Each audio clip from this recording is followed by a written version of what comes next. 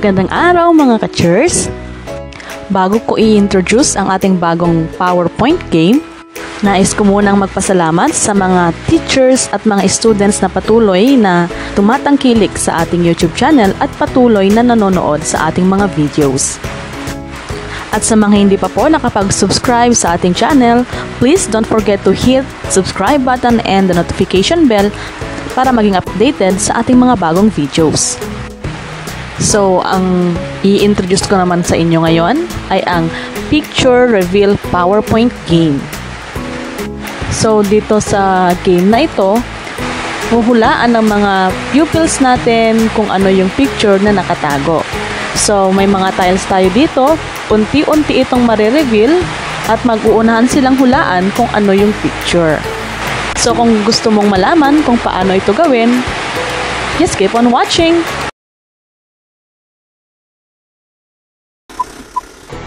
Okay, so the first thing that we should do is to open our PowerPoint.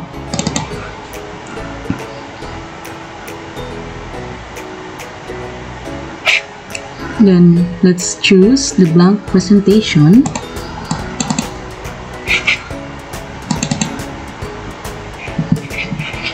Okay, so remove natin yung mga nakalagay na elements. Just uh, press the Control A and then delete. Okay, kung mapapansin nyo sa ating slide, meron siyang guide. Ito yung vertical and horizontal line.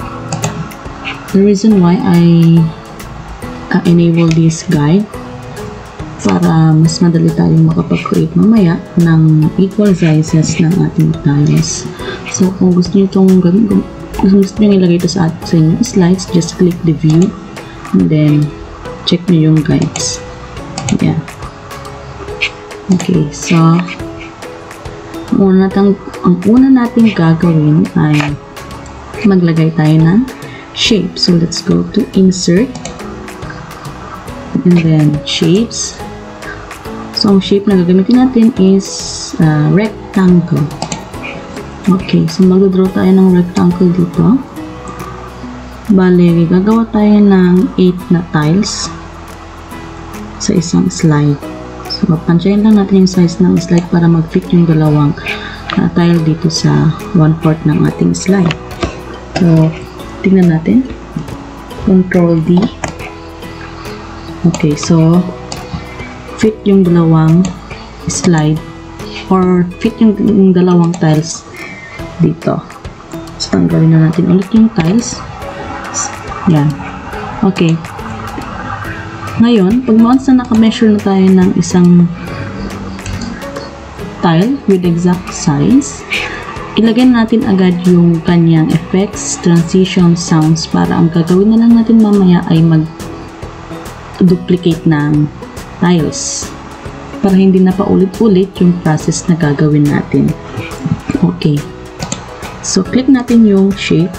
Then, click natin yung shape format. Dito tayo sa shape effects. Then, preset. Then, dito tayo pipili ng design ng ating tiles. So, sa akin, siguro, this one, yung may white na lining. Okay. So, once na nakalagay ka na ng shape effects, maglagay naman tayo ng animations. Yun yung kung paano mag-exit yung tiles natin mamaya. Punta tayo sa animations. Then, click natin itong drop down arrow para ma-view natin yung mas maraming effects. Then, go to more exit effects. Yan. Okay, dito natin mga, dito tayo pwedeng pumili ng exit effects na gagamitin natin.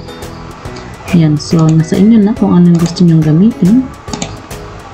Yan. Kung fade ba, zoom. So, maybe sa akin, I will use the float down effect. Then, pag nakapili ka na, click OK. Okay. So, nakapaglagay na tayo ng isang exit effect. So, i-trigger na natin siya. Let's click this trigger. Then, on click of rectangle tree. Okay. So, nakapaglagay tayo ng shape effects and animation sa ating tiles. Next is maglagay na tayo ng sound para mas maging exciting yung ating um, game mamaya. Okay, click ulit natin yung tiles or yung tile and then click this animation pane. Remember, nandito pa rin tayo sa animations. Animation pane and then rectangle 3, click natin yung drop down arrow. Then select natin yung effect options. Then dito na tayo pwedeng mamili ng uh, mga sound, different sounds. So kung gusto mo naman may na-download ka naman from YouTube or any other sounds, more other sounds, pwede mong i-choose itong piliin itong other sound para ma-upload ma-upload yung na-download mong uh, sound. So, for me, siguro ito muna ang chime. Okay. Ayan. Yun yung kanyang sound. Okay. Ayun. So, ang may isa pang kulang sa ating tiles, yun yung mga numbers. Okay. Lagyan natin agad ng number itong tile natin. Paano ba ito lagyan ng text? So, double click mo lang itong tile or shape. Ayan. May magbibig dito na sign na pwede ka na mag-type ng text. So, lagyan natin 1.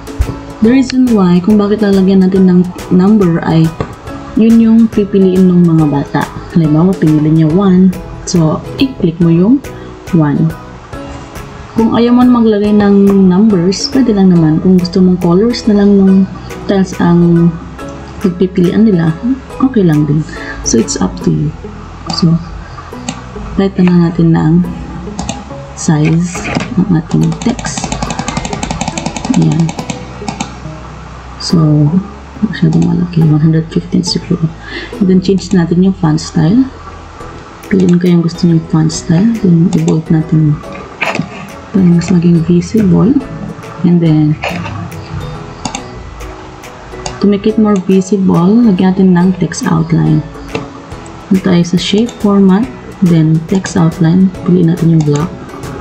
Then, text outline ulit. Tayo sa weight. Pili tayo kung gaano, kung, kung gaano kakapal yung outline. 3 point is okay siguro. So, palitan natin yung kanyang font style. Let's choose yung foo. Okay, itong font style na to, na-download ko lang to sa Google. Kung gusto niyo siyang gamitin, search niyo lang sa Google ang full font style, then download then install niyo sa inyong laptop.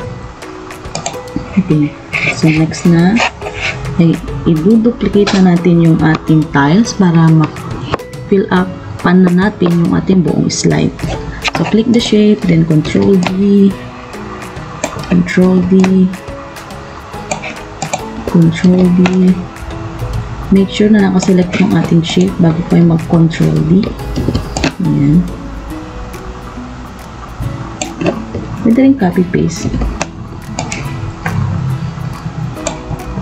Then, iayos nyo lang yung tile. Control D. Okay. So, kompleto na yung 8 tiles natin. Then, change na natin yung mga numbers. Number 1, 2, click lang natin, 3, 4, 5, 6, 7,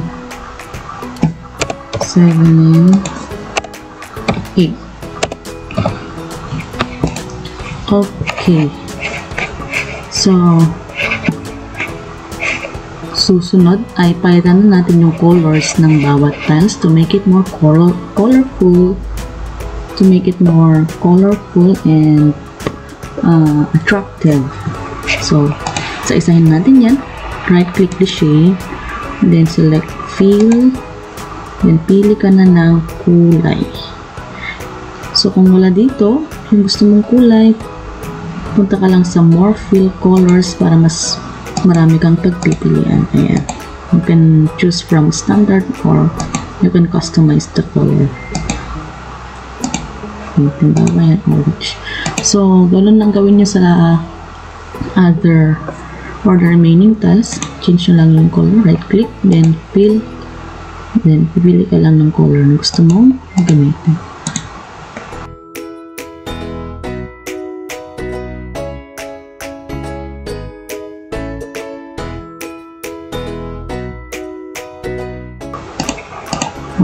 So napaitan na natin ng colors yung lahat ng tiles na. Okay, so pag nakatapos nyo na yan lahat, ibig sabihin, meron na kayong template. So kung mas maraming, kung gusto kong limbawa, mas maraming pictures ang gagawin ninyo, pwede nyo nang i-duplicate itong slide na to para ang gagawin nyo na lang mamaya ay mag-insert ng pictures. Okay. So, click mo lang yung slide, then click Control plus D. Okay, para ma-duplicate yung ating slide. Kung tatlo naman, control mo ulit. Control D. Okay. So, paano nga ba maglagay ng image sa likod nitong ating um, tiles? So, halimbawa may na-download na kayong uh, image, so puntaan nyo lang kung saan nyo siya sinave. Halimbawa, ang topic nyo ay mga anyong lupa. So, halimbawa ito, volcano. Copy ko lang yan. Then, paste nyo sa inyong PowerPoint. Okay. Yan. So, i-resize mo na yung image para mag-fit ito sa ating slide. Then, dito sa may taas, medyo ilalagpas natin siya konti. Ayan.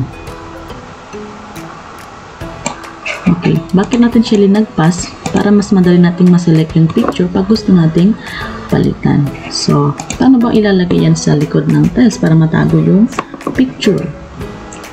Click, right click mo lang yung um, picture, then click send to back. Okay, so nasa back mo siya. Don't worry, itong makalagpas dito, hindi ito magpapakita sa slideshow nyo. Yan. Para pag clinic mo yan, halimbawa, gusto mong palitan yung picture, click mo na lang, backspace. Then, same process ulit, makabi ka lang ng image, then resize mo ulit. And then, send mo sa likod, send to back mo. So, balik natin yung picture. Ayan. So, try natin. Click slideshow. Ayan. So, halimbawa, pinili ni learner, number 3. Ayan. So, kung hindi niya nahulaan kung ano yung picture, pinili naman niya ulit yung number 6. Okay. Hindi pa rin. Pinili niya. Okay, hanggang sa matapos. Halimbawa, napili na niya, nahulaan na niya. This is a volcano or vulkan. Okay. Ayan. Pupunta ka na ulit sa next slide. Ganun din. Ayan. So, dito naman sa second slide, halimbawa, ang lalagay naman natin is chocolate hills, copy, and then paste, resize. Then, lagpas mo lang ng konti yung image sa taas. Then, right click, send to back. So, slide 3 naman, ulit tayo ng picture. Ito naman, raise terraces, copy, then paste, then resize. Ilagpas mo konti.